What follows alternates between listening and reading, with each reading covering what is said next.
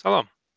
İndi kompüterin yaddaşı haqqında danışacağıq. Yaddaş dedikdə və ya memory dedikdə, əslində ilk başa düşülən onun hard diski falan olur.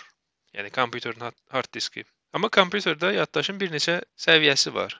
Bu şəkildə gördüyünüz kompüterin yaddaşın iyerarxiyasıdır. Bütün kompüterlərdə bir CPU olur.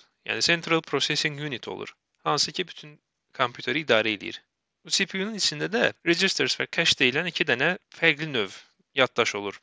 Bunlardan sonra main memory deyilən bir yaddaş növü var, hansı ki biz onu RAM kimi bilirik. Random Access Memory deyə bir yaddaş növüdür. Məsələn, öz kompüterimizin spesifikasiyasına baxsaz, RAM-ın məsələn nəsə GB olduğunu, 3 GB, 10 GB falan görəcəksiniz. O main memorydir. Hansı ki CPU-da olmur. Ana platanın üzərində əlavə bir yaddaş kimi qoyulur, amma ana platanın üzərində olur. Daha sonra get-gedə uzaqlaşan yaddaşlar var. Məsələn, bildiyimiz hard disk var, flash disk var. Bunlar da ana platanın üzərində yox, daha uzaqda deyək, olan yaddaşlardır.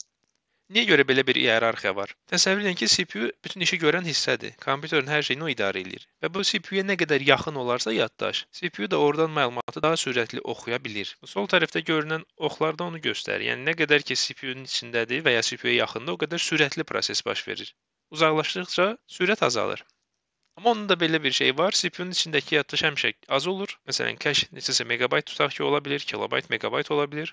RAM neçəsə gigabayt ola bilər, amma hard diski biz terabaytlarla qoyub istifadə edə bilirik. Bəs bizim developer kimi bunu bilməyimiz nə işə yarayır? Ümumiyyətlə yadda saxlamaq lazımdır ki, kompüterin içində işləyən proqramlar RAM-da çalışır. Yəni bu main memory-nin içində çalışır. Biz hansısa bir proqramı yazdıq, tutaq ki, kodumuz hard diskdə saxlanılır. Orada problem yoxdur. Amma kodu proyekti biz run eləyəndə, yəni işə salanda, o artıq RAM-ın içində işə düşür. Və RAM elə bir yaddaş növüdür ki, kompüter sönəndə həmin RAM-dakı bütün məlumatlar silinir. Bunu əslində özünüz də çox rahat yoxlaya bilərsiniz. Tutaq ki, hansısa bir proqramı açmısınız kompüterinizdə. Bu ola bilər bir brauzer olsun və ya hansısa proqram olsun, Word, Excel kimi bir şey olsun. Siz əgər kompüteri söndürürsünüzsə, bu proqramlar RAM-da icra olunduğu üçün silinmiş olur və ya RAM da kompüter sönəndə silindiyi üçün, təmizləndiyi üçün o proqramlar da bağlanmış olur. Bu yaddaş növlərinin hərəsinin də içində əslində xırdaqlar var. Məsələn, cache-in özünün də səviyyələri var, L1, L2, L3 cache-lər var.